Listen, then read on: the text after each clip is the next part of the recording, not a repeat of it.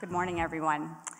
ACS Infrastructure and Dragados Canada are pleased to introduce the Honourable Francois Philippe Champagne, Canada's Minister of Infrastructure and Communities, as the opening keynote speaker at P3 2018. Uh, ACS Dragados has been involved in P3 projects across Canada for over a decade, and right now we're partnering with many of you in the room in the development of critical infrastructure initiatives, most of which are being developed under P3 schemes, such as the Eglinton Crosstown, which was mentioned, uh, the Finch Light Rail Project, and the 427 here in Ontario, as well as the REM and the new Champlain Bridge in Montreal, just to name a few. A month ago, we were very pleased to get to host Minister Champagne and the Prime Minister Justin Trudeau at the official start of construction for the Gordie Howe International Bridge project in Windsor. That was a truly exciting day, and I think one that will only be topped when the bridge officially opens. So, the, the closely watched project, which is years in the making, will have a huge impact on improving trade and the connection between Canada and the United States. This is of huge interest to the minister and to all of us in the room who understand that investing in infrastructure is an investment in the communities and in jobs, which help drive economic growth uh, for all Canadians. In his keynote, Minister Champagne will discuss the role public-private partnerships can play in the government's $180 billion Investing in Canada plan.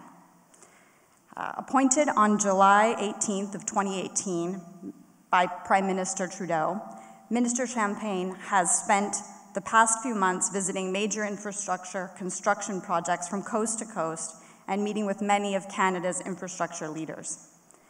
Previously, he served as Canada's International Trade Minister and as Parliamentary Secretary to Finance Minister Bill Morneau, where he played an instrumental role in developing the Canada Infrastructure Bank. Prior to entering politics, Minister Champagne spent more than 20 years as a businessman, a lawyer, and international trade specialist in large global companies, particularly in the fields of energy, engineering, and innovation. So he brings a wealth of knowledge, which we'll get to hear about today in his keynote. Um, I'm very excited, and please join me in welcoming Minister Champagne to. Good morning, everyone. Bonjour tout le monde. Bienvenue à Toronto. Welcome to uh, Toronto. It's a great pleasure to have you all here in, in uh, this beautiful city. We all know that Mark is a great host, so uh, uh, he wanted to offer you champagne for breakfast. Uh, so I hope you didn't get confused. That's the champagne you're getting for breakfast this morning. Uh, but I'm really, really delighted uh, to spend some time with you this morning. this is a great event, not only for Canadians, but for a number of people in the room. 30 countries, you said, Mark, this is truly astonishing. My friends, the key message I have for you this morning is the future is bright uh, for public-private partnership in Canada. And that is the reason why I'm with you here this morning. We want to expand with you the spectrum of opportunities. We want to attract more investment from within Canada and abroad because we know, and you know, that first-class infrastructure is the best way to attract talent and investments. So thank you for that very warm introduction. That's the second time in about a month we do that together. We should do more of that. You know, I appreciate that. It's very good. Let me uh, acknowledge just a few people uh, with, our, with us today. The first one is Kelly Gillis, my deputy minister. It's probably the person you want to meet in this room. Uh, Kelly is an outstanding public servant in Canada, uh, making sure that our 4,200 projects are on the way. And uh, we form a great team, and I'm very pleased, Kelly, that you could be with us today. I understand that Janice uh, Fukushima is with us also this morning. Janice is the chairwoman of uh, the Infrastructure Bank of Canada. She used to be the CFO. Janice is just in the back there. She used to be the CFO of Royal Bank of Canada, and she was employee number one. So, uh, Janice, thank you for everything you did for Canada and, and certainly putting the bank in the right track. I also want to acknowledge John Manley. You heard from him, former cabinet minister, an outstanding Canadian, whom I have to see your portrait every morning as I walk in my office. So I do know you were an infrastructure minister because I see your picture as I walk in, and I always bow to you, John, for the great work you did uh, providing infrastructure to, to Canada. And let me have a special welcome. I would say to my new friend and his beautiful wife, uh, the governor of Puerto Rico, uh, which is with us this morning. Sir, why don't you stand up so that everyone can recognize um, that you've been uh, coming with us. It's, it's a great honor, uh, Governor, that I had the chance to uh, exchange with you about infrastructure needs. Uh, obviously, we have followed as Canadians with much interest, and I would say as the international community, uh, what has gone in Puerto Rico. And I can, you probably feel that you've got a lot of friends here in this room. And uh, certainly we want to play a role. I think the audience want to play a role in ensuring a uh, great future for the good people of Puerto Rico. So welcome to Canada, sir. It's a real honor to have you. I also want to express my sincere thanks to Mark Romoff. Mark has been an outstanding supporter uh, of this organization. He has shown extraordinary leadership as the head of the Canadian Council of Public-Private Partnerships for many, many years.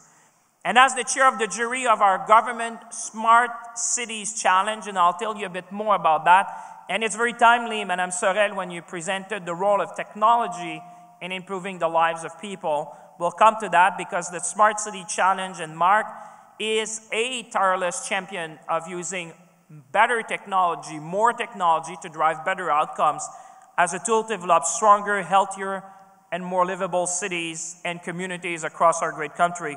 So thank you, Mark, for being such a passionate advocate, but above all, on behalf of all Canadians, always being there when we ask you to take up on a new role. We know that your plate is pretty full, but every time we have asked you, you stand up and you've decided to help us again. So on behalf of all Canadians, I just want to give you a big round of applause and to thank you.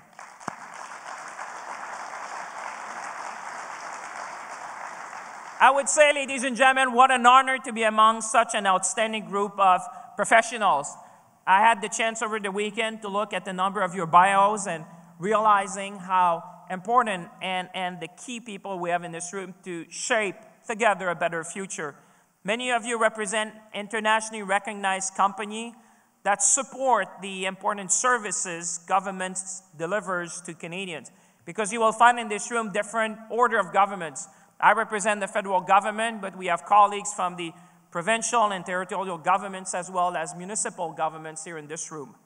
Without you, Canada cannot possibly meet the sizable infrastructure need that exists in our country. You would certainly appreciate for our foreign guests being the uh, second largest country in the world in terms of landmass, that our infrastructure needs are tremendous. Our government values the participation of the private sector to drive better results in our nation's infrastructure. You are, after all, ladies and gentlemen, our strategic partners to deliver 21st century infrastructure, I would add on time and on budget. Although I'm meeting many of you for the first time, I already feel like I'm among colleagues. As you have heard before entering public life, I worked in the infrastructure sector, just like you. I started as a lawyer, then switched to business, and then turned politician. So I will let you judge whether I choose the right career path after all. My time at global engineering firms such as ABB in Zurich for more than a decade, or with Amec Foster Wheeler in London for uh, the last five years before I entered politics, taught me one thing, which I know you share, is to think big. That is especially important when companies like you identify opportunities and partnership which are behind, as you know better, every success story. I'm also the man of a, an entrepreneur from Shawinigan in Quebec. And for those who are Canadian in the room, you know what Shawinigan mean in our country. We turned a small wastewater treatment business into an international success story. From my father, I learned the value of entrepreneurship, which is at the art of taking risks, smart risks, working hard to achieve a vision. In fact, I remember he kept reminding us that the only place where success comes before work is in the dictionary. Let me say a few words about Canada's leadership in P3 infrastructure globally. After all, if you've decided to travel to Canada because you recognize that together we can shape the P3 model, not only in Canada, not only in North America, but obviously around the world. We all know how much business values stability, predictability, and the rule of law. They are what I call oftentimes the key pillars of the investment climate. And I challenge any one of you to find me a place in the world where you have significant investment. without these key pillars which are essential to strive? In Canada, we have a well established P3 industry that has raised the bar for infrastructure procurement at home and abroad. Canada's P3s are based on a collaboration between public sponsors and just like you, private sector players. Most of these players are here today representing all areas of infrastructure delivery. Without this group of experienced and recognized players that you are, the Canadian P3 market could not have come this far. Our success requires innovation and partnership with the private sector. That's why I encourage you not only to think big, but to think smart and to help us build the infrastructure of the 21st century, infrastructure that is modern, resilient, and green. My friend, my message to you today is simple. The future is bright for public-private partnership in Canada. Our government values the benefits of applying private sector discipline and innovation, and I think we saw a good example of that in your video, to the procurement of a broad range of publicly owned and controlled infrastructure. P3s contribute in a meaningful way to the government's focus on long-term goals and outcomes for citizens because they focus on the integration of various phases of infrastructure development and implementation. By ensuring the effective transfer to the parties best placed to manage them, we are ensuring that not only is our public infrastructure well built and well designed using the latest technology, but also that it is maintained over the full life cycle of the assets with proper care and attention. You won't be surprised that our government's vision is to encourage public and private sector partnership and to push them even further to find innovative solutions to deliver the much needed infrastructure that Canadians rely on every day. And I would think that this is something quite similar, whether we're talking about Puerto Rico whether we're talking about states in the United States or different countries around the world. Partnering with the private sector is a, an important way to deliver more and faster for Canadians. That's why our government, as was said, is investing a, historic sum of about 180 billion over the next 12 years. And if you think this is the federal contribution, we're looking at something closer to probably 300 billion over the next decade or so, and why we established the Canada Infrastructure Bank, which I'll tell you a bit more about in a minute, to invest in infrastructure to serve, obviously, the public interest. Many of you in this room represent investors from this country and abroad who are looking for opportunities to invest in long lived infrastructure projects with appropriate risks adjusted returns. I am here to tell you that private sector involvement is not only needed, it must be increased in the years to come. And I recall my day as the International Trade Minister of Canada, as the media used to call me jokingly, Canada's Chief Marketing Officer. I remember that particular meeting where I was in the Middle East promoting Canada to investors talking about investing in our country. And I remember the chairman of that group looking at me and said, Minister, where would you put your money today if not in Canada? If you want to have a secured return and want to make sure that you can contribute meaningfully to projects. So that's why I'm calling upon you, the investors in the room. Clearly, Canada is probably your best bet for the decades to come when it comes to investments. And that's why with the Infrastructure Bank, we'll make sure that it's easier for you to identify bankable projects and that we will be working with you. Our infrastructure plan is designed to expand the opportunities for the public sector to attract private sector investment, as I said, both from within Canada and globally. Over the next decade, there'll be a tremendous opportunities for the private sector to participate in projects. And I know you'll hear from Pierre Lavallée, our CEO, uh, I think tomorrow uh, talking to you about more what's the bank role, how we intend to invest, and what's the pipeline of project. We've seen the refinement of the P3 model in Canada over time, and I've seen governments at all levels adopt the procurement model where it makes sense. And a number of projects have already been mentioned, but allow me to mention the, the Valley Line Light Rail Transit in Edmonton in Alberta, the expansion of the GO Rail network here in Greater Toronto and Hamilton area. We also talk about building hospitals for the first time in Nova Scotia, Newfoundland, and Labrador on the eastern coast of our country. And if you look north, a place where there's tremendous, and Mark and, and uh, the council have made us aware about thinking how we're going to build infrastructure in the north. If you look in the Northwest Territories, is also using a P3 approach to build the Tlicho All Season Road. And I can assure you that's quite of a sight, and I'm supposed uh, to visit that in the not too distant future. This project, to give you a sense how we are building the nation with these projects, is going to create an all-weather access to the region, which will support lower cost of living for population in the area, improve obviously the quality of life of people, and allow for sustainable resource development, tourism, and other economic benefits for the community up there. As you well know, there are many opportunities to use P3 to improve the lives of Canadians in many ways, and obviously in many regions. My own department is overseeing two major P3 projects which were mentioned, and most of our partners are in the room.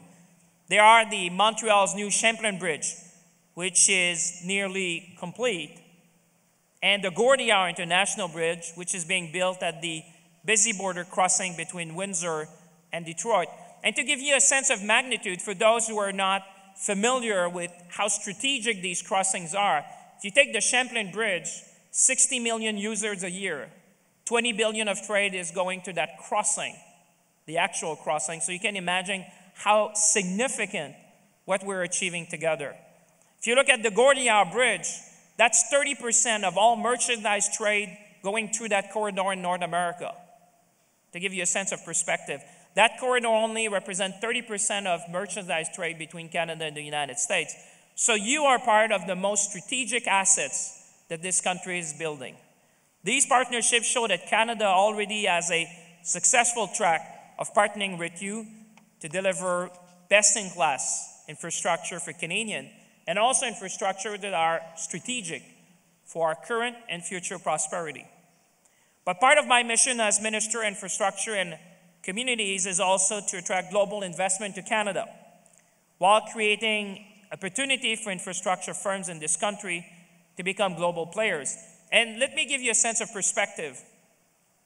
You may have heard our Prime Minister say Canada is today the only G7 country in the world with a free trade agreement with all other G7 countries. Today, Canada is not a country of 36 million inhabitants, but you should think of Canada as a country which has preferential market access to 1.5 billion consumers in the world, to the trade agreement we have done with Europe called CETA, to the one we're going to ratify, the CPTPP, and yeah, you can blame me for the name, because it started TPP, and then with 10 other, 11 other nations, we start fiddling with the name, so it ended up CPTPP, but that's going to be our free trade with Japan, Australia, New Zealand, Singapore, Malaysia, to name a few. And obviously, with the USMCA, getting access to the US and Mexico. So, my message to you is that Canada is an ideal location, obviously, for global firms like you to operate because it's not, it's not just about stability, predictability, and rule of law. But I think you would agree with me in this world today, market access is key. And labor mobility, which is allowing you labor mobility through these agreements, is making Canada the obvious place to be based. It is obvious in a country as vast as Canada that public investment alone cannot fulfill the demand for new infrastructure. So let me say a few words about the Infrastructure Bank of Canada. You will hear more about the bank in details, but let me say that with the bank, our government has created a new tool. I call that a new tool in our toolbox to finance infrastructure in this country. The P3 model that we're talking about here was an important building block in the formation of the Canada Infrastructure Bank. It allows, for example, private sector partners to be brought in earlier for the planning and development stage. And that's something we have heard from you, saying bring us on board earlier so we can better design projects, can better execute, and hopefully use technology to provide better assets for the people. And that's why when we've looked at that, our role with the Infrastructure Bank is to develop the pipeline of projects and bring investor and the public sector together to have obviously appropriate risk sharing in building these projects. In the process of doing that, the banks is advancing new models of partnerships that will allow to get more projects built in countries like Canada. It also stretches further public dollars by attracting private investment to free up government resources for other infrastructure priorities. And Mark said it at the beginning, we have a role to explain to citizens why are these institutions are key in building a better future.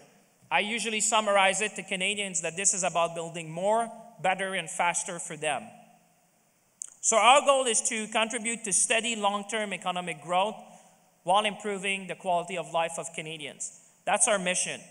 And the Infrastructure Bank demonstrate our government's strategic and long-term approach to infrastructure investment, similar to project sponsors and proponents that are here in the room today. My key message to you is that I think our strategic visions are aligned in many, many ways, and that's why I think you are the key partners in delivering for the people. My friends, I want to emphasize the magnitude of the opportunity before you. I don't think there's been a better time for you to take a moment to look at what we're doing in Canada and see what role are you going to play in making a difference. This is a chance for the public sector and the Canadian infrastructure industry that you represent to continue to forge game-changing partnership, invest together in projects, and demonstrate leadership in the global infrastructure landscape. So in conclusion, I would say seize the moment there's never been a better time to invest in Canada. I would say be ambitious. Think big and smart with our partners to see how can technology bring us further together in delivering for the people. And finally, let's build together the infrastructure of the 21st century, which is modern, resilient, and green. Ladies and gentlemen, thank you very much for being with us this morning. Thank you.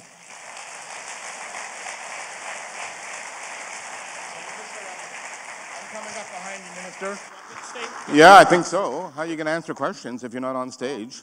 You know, our question period is at 2.15 in the House of Commons, so it's going to be my warm-up session. So anything that you want, uh, you know, about the government, about our policy, about P3 is, is obviously fine. Mark, it's all yours. That's great. Well, thank you very much. And I would say you are clearly still salesman in chief. You needn't worry about that. So here are some of the questions that have come up sure. from the audience. They're a little bit challenging. So if you, you know, what the heck, let's go Listen, for it, right? This is the purpose of democracy, is to challenge elected leaders, right? There you go. So the first question is, what can Canada learn from the political backlash to the P3 model in the United Kingdom? Uh, I would say, and, and obviously, as you appreciate, those are, are my own personal reflection, uh, getting a question like that. And having lived in England for the last five years before I moved to Canada, um, I think one of the things we have not done so well and I obviously look at the guy in the mirror when I say that. Uh, but obviously, being with all of you, I think we need to reflect how we explain to people what we're trying to achieve.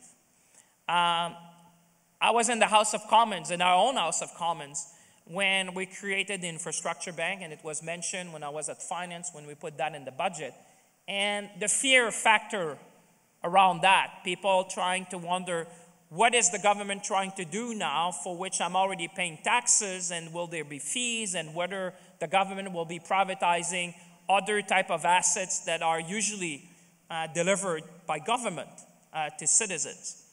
And I think part of our job was to reassure people, like I was saying, this is about delivering better and faster to the people and making sure that our investment would be to crowd in not to crowd out other players in the industry, which would free up capital, which is scarce in any democracies these days, to invest in things where the private sector would not be investing. And I think the fear that is coming from that is us not spending enough time explaining why we're doing what we're doing.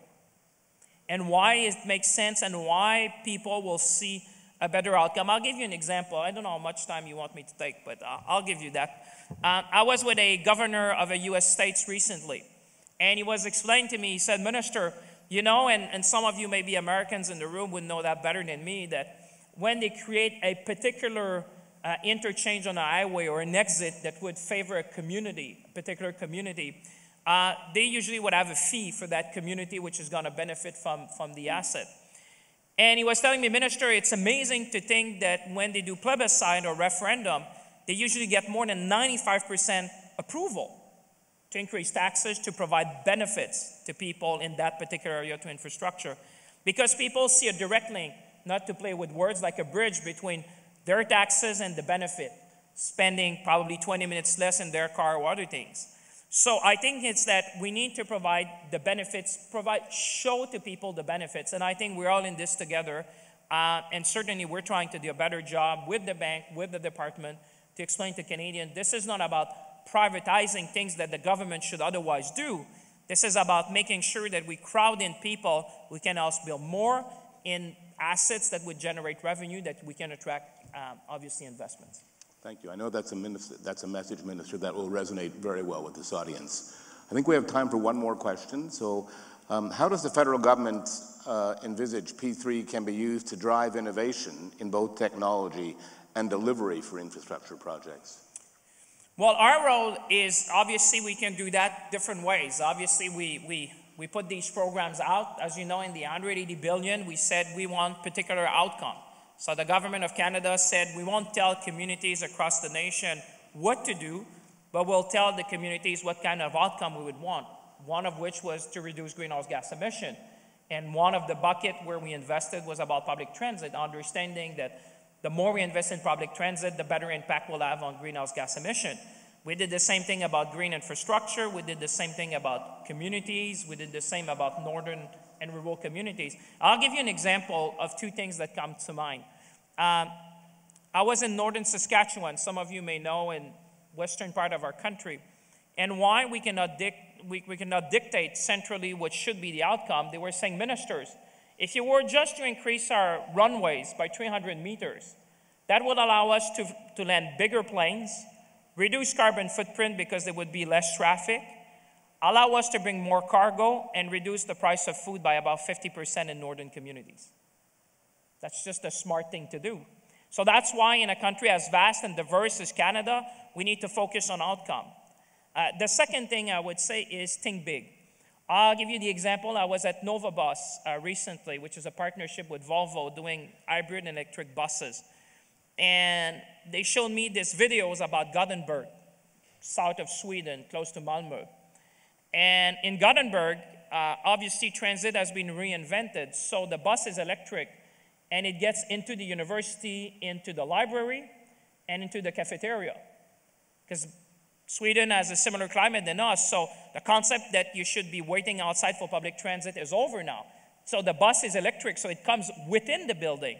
So I think people like you, the future of mobility is probably to have these type of assets coming in the library or let's say in the hospital or in the shopping center. So it's about thinking big. And it's not about decades to come. I can tell you that um, one city in Canada, Quebec City, has already adopted a similar model based on GPS, where they don't have full electric buses, but they have GPS to tell the bus to go electric between that road and that road, gets into an interchange, get people to get in the bus from inside, for those of you who are not familiar, the winter I'm used to, now it's getting a bit warmer, but uh, when I was young, you, you could be at minus 30. So obviously, rethinking mobility in our community is essential. And Mark, you've been doing a great job with the Smart City Challenge to provide better outcome for Canadians uh, through technology and involving people in the room with the smartest idea. And you showed us uh, what the future of technology can bring to the infrastructure community. It's an exciting future ahead for sure. Minister, thank you so very much for being here. Thank you very much, everyone. Merci tout le monde. Bonne fin de journée. Thanks for being here. Thank you so very much. You were really always fabulous, right?